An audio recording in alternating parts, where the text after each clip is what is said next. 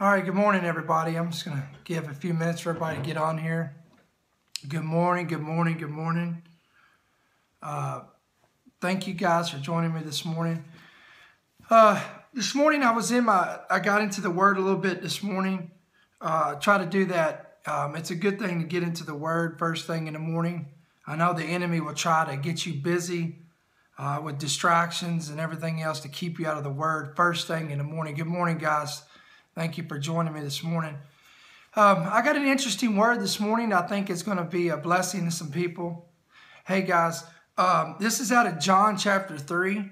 Again, if you uh, if you have your Bible with you, you can join me. If not, that's okay. It doesn't it doesn't matter too much. But I'll give you the word here. I'll read it to you. This is again. This is John chapter three. Uh, it says there was a man of the Pharisees named Nicodemus, a ruler of the Jews. And this man came to Jesus by night and said to him, Rabbi, we know that you are a teacher come from God. Uh, for no one can do these signs that you do unless God is with him. In verse 3, it says, Jesus answered and said unto him, Most assuredly I say to you, unless one is born again, he cannot see the kingdom of God. Now, really, I want to home in on verse 3. It says, Most assuredly I say unto you, unless one is born again, he cannot see the kingdom of God. That word see there uh, comes from a word meaning to perceive. And I'm going to give you some of the, uh, the deeper understandings of this word see, and then we're going to, I'm going to talk about that for just a minute. Uh, the word see means to perceive with the eyes, perceive by any means of the senses, to notice, to discern, and to discover, to turn the eyes, mind, and attention to something or to anything. Again, so it gives you a deeper understanding of this word see. So obviously, the practical understanding of this word, unless one is born again, he cannot see the kingdom of God. We know that, uh, and Jesus is telling him that unless you are born again, you will by no means enter the kingdom of heaven. No man can, uh, flesh and blood cannot enter the kingdom of God. It has to be through a renewal of the spirit or a born again experience. So uh, we know that from a practical. That's very elementary, guys. Most of you already know that. It's an elementary principle uh, in serving God. But I'm going to peel back a, a deeper layer of this this morning and show you something. He says, unless one is born again, he cannot perceive the kingdom of God. So I propose to you that and I want to bring this right up front.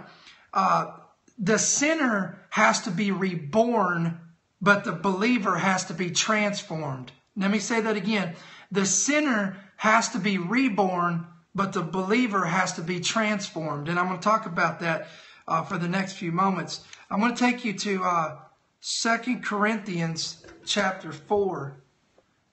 Yes, exactly. That's why so many are blind today. 2 Corinthians chapter 4 Verse 3 But even if our gospel is veiled or hidden, it is veiled to those who are perishing. That's the lost. Whose minds the God of this age, who is that? Satan, has blinded who do not believe, lest the light of the gospel of the, of the glory of Christ, who is the image of God, should shine unto them. So again, uh, the gospel is hid or veiled to the, those that are perishing, those that are lost, unless the light of the gospel should penetrate it. Again, the sinner has to be reborn. But now let me move over here to Romans 12, because I really do, I'm really not focusing so much, guys, this morning. Uh, I don't really want to plow too much on uh, the sinner being reborn, because again, that's elementary. But I really want to home in on the believer being transformed.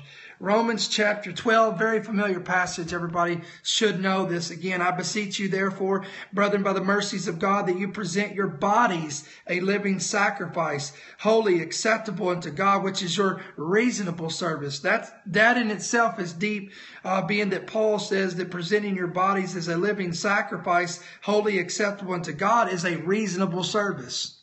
And some of us can't even get that far. Come on, somebody. Verse 2, here we go. And do not be conformed to this world. The word conform means to conform to another's pattern or fashion or culture. It would be as um, So whatever is fashionable in culture today, we conform ourselves to that image. We conform ourselves to that stream, to that, to that form. Okay. But the word of God says, do not be conformed to this world, but be transformed. The word transform means to change into another form. Okay. By the renewing of your mind that you may prove that which is the good, acceptable, and perfect will of God. Now you say, well, how is a believer transformed? Bottom line, since, uh, very uh, simple principle. Ready? Read the Word of God. And you say, well, I was hoping for a deep revelation. Guys, um, I'm going to tell you right now, Christians don't read the Bible. And I can prove that because they would not be allowing the stuff that they allow to come into their spirit. They wouldn't be believing the stuff that they believe. They wouldn't be teaching the stuff they teach. They wouldn't allow people to preach behind the pulpit that preach. Come on, somebody. But the problem is we've got a lot of reborn sinners, but we have very few transformed believers. Okay? Again, we have many reborn sinners, but we have very few transformed believers. Okay? Now I'm going to let me let me show you an example, guys. I got some notes here. Uh, Jesus told Nicodemus, if unless you're born again, you'll by no means perceive the kingdom of heaven. He says you will not any you'll by no means notice, discern, or discover the, the kingdom. Have you ever wondered why you get around a bunch of Christians and they want to argue about, listen, there's principles in the word. They want to argue about the principles in the laws of giving and receiving. They, they'll argue with you about the perception of forgiveness and unforgiveness. They'll argue to, to, with you with the perception of humbling yourself. They'll argue with the perception of sanctification, holiness, and consecration. Why? Because they've not transformed themselves in the word of God. Listen, this is why you'll, you'll hear this all the time. All them preachers want is your money. And I don't understand why they always want to talk about money. But if they understood the principle of and the law of giving and receiving scriptures like Luke 6.38, give and it shall be given back unto you, good measure, pressed down, shaken and running together. If they understood that God owns uh, the cattle on a thousand hills, the earth and the fullness thereof is his, and the silver and gold is his, his. If they understood the principle uh, of, of the principle of the story of Jacob and when he made a covenant and a vow with God that he would begin to give him a tenth of all of his increase. The Bible says that all the days of Jacob's life, he was met with his provision. He was protected. The Bible says in Malachi chapter three, try me not herewith, saith the Lord of hosts, and see if you, if you'll not bring your tithes into the storehouses and your offerings, if I will not open to you the windows of heaven and pour out such a blessing that you have not room enough to receive it. Paul said, My God shall supply all of your needs according to his riches and glory in Christ Jesus our Lord. And he told that to the church of Philippi, which if you read that in the church of Philippians, he says, uh, that you and you alone are the only church that shared with me giving and receiving. And he goes on and says that I did not come to seek the gift, but I came that you may receive the, the fruit or the blessing of giving. Come on, it's in your Bible. But the problem is, again, Christians don't read the Bible. Therefore, they attack the principles of giving and receiving. I'm just using one example, guys. So the, the enemy has blinded them because they've not transformed their mind in the Word of God. Number two, they don't understand the importance of forgiveness. The world says revenge is is a is a dish best served uh, cold, right? Uh, it's revenge. If someone does us wrong, we retaliate. We bring revenge. But the but the kingdom's principle is vengeance is mine, saith the Lord. The kingdom's principle is bless those who persecute you, persecute you, and pray for those who despitefully use you. Come on, that's the kingdom's principles. But the problem is, again, we're not transforming our mind. This is why, how can a man, how can a Christian television network who, with a self-proclaimed prophet, get on television, the word network, and have a man get on their network who, who propagates racism, violence, who even made a statement to basically uh, kill a certain race. Come on, somebody. Why? There's no way in the world that a man would allow that to come on their program unless they've not been transformed by the word. Come on, somebody. I'm listen. Uh, it, it's the word whether you want to accept it or not. Number three, the the the world's mentality is climb the ladder, cut everybody else down, knock everybody down, and get to the top. Do whatever you got to do to get to the top. You got to kill, you got to steal, you got to cheat. Come on, somebody. Whatever you got to do. Uh, I'm going to quote one politician that said, What difference does it make? Right? What difference does it make what we do? But the Bible says, Humble yourselves he who humbles himself shall be exalted. He who humbles himself under the mighty hand of God shall be exalted in due season. He who is called least is uh, in this world is called the greatest in the kingdom. Some of the last shall be first, and some of the first shall be last. Again, these are kingdom principles that I'm seeing Christians not perceiving because their mind has not been transformed, guys. This, I'm not talking about uh, sinners in this message. I'm talking about believers, okay? And then lastly, they don't perceive the need of sanctification and holiness because they're, they're not in the word and the Bible says the washing of the word of God, cleansing them. Jesus said, if you know my word and my word is in you, you will be my disciples and you shall know the truth and the truth shall set you free. Listen, I'm going to turn, I'm going to go to first uh, Peter chapter four. First Peter chapter four. Okay. Let me go over here. Here we go. Ready? Therefore, since Christ suffered for us in the flesh, arm yourselves also with the same mind. For he who has suffered in the flesh has ceased from sin, that he no longer should live the rest of his time in the flesh for the lust of men, but for the will of God. That right there, I could just preach on that alone. For we have spent enough of our past lifetime in doing the will of the Gentiles, when we walked in lewdness, lust, drunkenness, rivalries, drinking parties, and abominable idolatries. Listen to what Peter says. In regard to these things, they, who's they? Unregenerated uh, sinners, which need to be born again. But I'm going to take it a step farther. Untransformed believers as well. In regard to these, they think it strange that you do not run with them in the same flood of dissipation, speaking evil of you. Come on, somebody. But they will give an account to him who's ready to judge the living and the dead. Some of you uh, you just need to get a whole group of a, a, whole different group of friends because you've got a group of friends that call themselves Christians and believers, and because you want to live a life of consecration, sanctification, holiness unto the Lord, they call you a Jesus freak, they call you fanatical, they call you radical, they call you over the top. But the Bible says, in regard to these things, they will find it strange that you don't run in the same dissipation uh, uh, that they do, and they'll speak evil of you.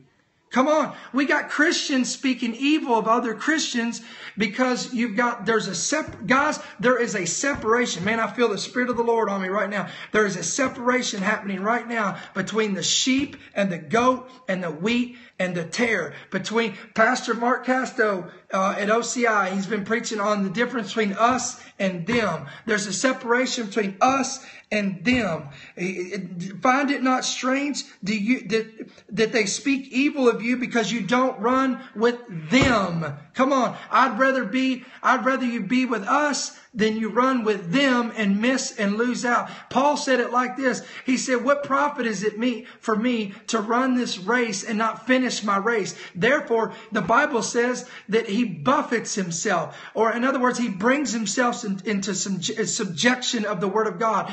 Come on. I'm going to say a nasty D word right here. Ready? Discipline. Come on, we've got to do whatever it takes, guys. I don't want to disqualify myself in the race. So again, sinners have to be reborn, but believers have to be transformed. So listen, I am not going to stop preaching the unadulterated word of God. I don't care how unpopular it gets. I don't care if uh, if I lose thousands of followers. Because again, I will stand and give an account to him who's ready to judge the living and the dead. So again, I hope this, uh, I hope this is helping somebody. Listen, I had a note here. When I got saved 15 years ago, guys, when I got saved 15 years ago, my spirit was reborn, but my mind has to be transformed. Golly. Again, when I gave myself to, to, the Lord on the altar 15 years ago, my spirit man was reborn, but every single day, Paul said, I beseech you, therefore I die daily, not Sundays, not weekly, not during conferences. Come on, I die daily. I take up my cross, deny myself, and follow after him daily. So my spirit man was reborn on June 2nd, 2000. But 15 years later, day by day, my uh, my mind is being transformed. Why? For uh, for the carnal mind is enmity with the mind of God. So it has to be transformed. The natural mind receiveth not the things of God, for they spiritually they're they're they're not inclined to the spirit man, guys. So again, I hope this helped somebody uh, this morning. This was really burning in my spirit, so I immediately took notes. Uh, and I felt like this was a word that I needed to uh, release to the body right now, to those uh, who are uh, who are listening, those who have ears to hear. Um, there is a separation process going on, guys, and I'm seeing it every day. I'm seeing goofy, ridiculous things that Christians are doing, falling into. And listen, you and I are no different. We're all uh, we're, we're all prone to make these these foolish mistakes if we don't stay in Him.